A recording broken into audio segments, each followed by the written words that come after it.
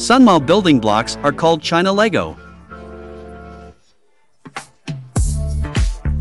Sunmao is an ancient Chinese architectural style.